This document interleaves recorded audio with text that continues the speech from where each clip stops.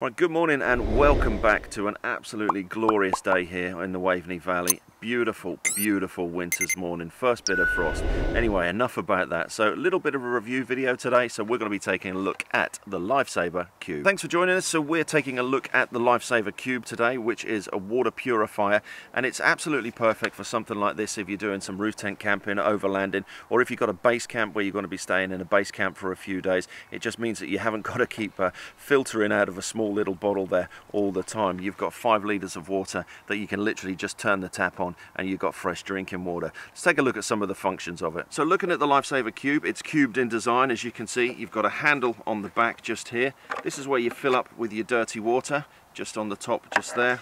And then that is also your pump where you put your pressure into the unit and then you've got a, just a twist tap just here just to open and then twist just to close. Now there is something you need to do before you use this. You need to prime the unit because the, the cartridge inside is covered in like a, a glycerin type thing just to protect it while it's in storage. So we need to give that a wash. So let's look at priming the Lifesaver Cube. So the first thing you need to do when priming the Lifesaver Cube is fill it up with some clean water.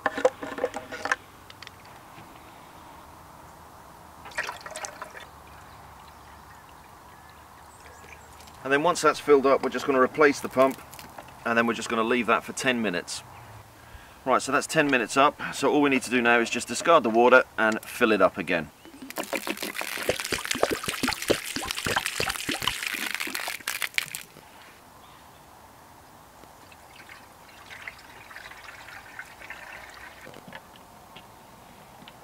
So the next thing we need to do is pump this 20 to 30 times. But before we do that, the best thing to do is just release the top of the tap here.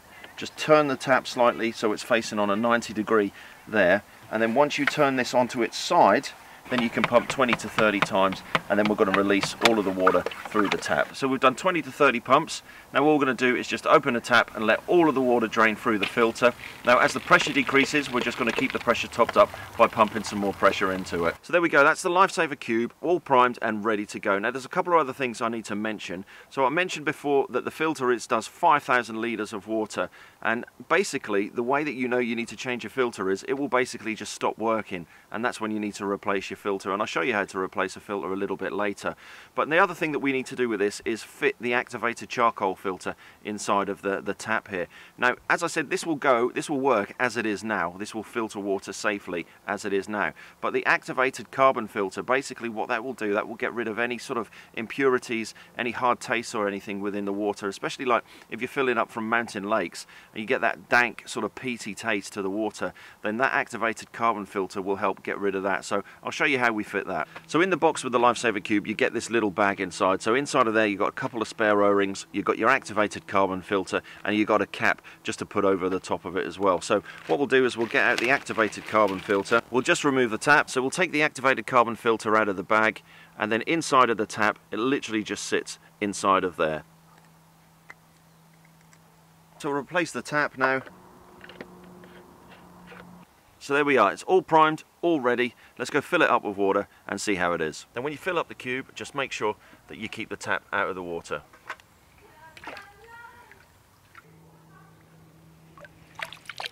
So as I mentioned before, when you're filling it up out of the river or out of a lake, make sure your tap doesn't go into the water because you don't want to contaminate the tap there. So we've got that full up with dirty water, so all we're going to do is pump 20 to 30 times again, get some pressure inside of that, and let's see how it tastes. So to use a tap, you can literally just push the tap down, or you can turn it anti-clockwise to lock it open. Right, so there we go. Oder River Waveney. Let's see how this tastes. It'll be interesting after all of the floods and everything we've had recently. Let's see what it's like.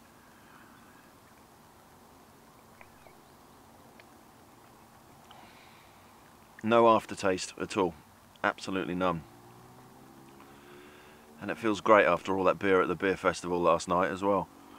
So let's talk about routine care and maintenance of the Lifesaver Cube. So it's recommended that you keep an inch of water inside the Lifesaver Cube at all times.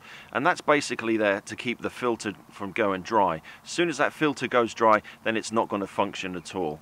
The next thing is obviously you're filling up with dirty water, you're going to have plant matter and all sorts inside of there and then sometimes that can actually clog up your filter. So what you need to do is every now and then is just give it a swill out. So I'll show you how that's done. So for your first maintenance step of the Lifesaver Cube, when you're outdoors that is, is basically fill it up with a litre of water, swill it around and make sure it's going over the filter so it loosens up any debris that's sit sitting on the filter and then just release the pump and then just empty that out and then refill the cube so it's about a quarter full, turn it upside down, swill it around, and then again empty through the pump hole.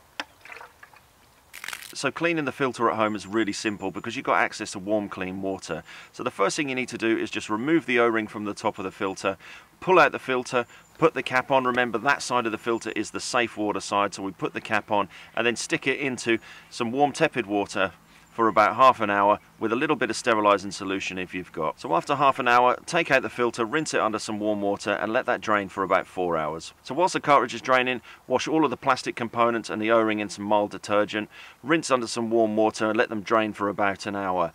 Once that's all done, you can then just replace the O-ring, put all of the parts back together, and just remember you need about an inch of water in the Lifesaver Cube just to keep that filter nice and healthy. So there we go, that is the Lifesaver Cube. I think this is an absolute brilliant product. It's absolutely perfect for roof tent camping, overlanding. Like I said, if you're camping in one spot for a few days, it's absolutely brilliant to have that clean water on demand. It just saves from having to use a gravity-fed filter or one of those small filters.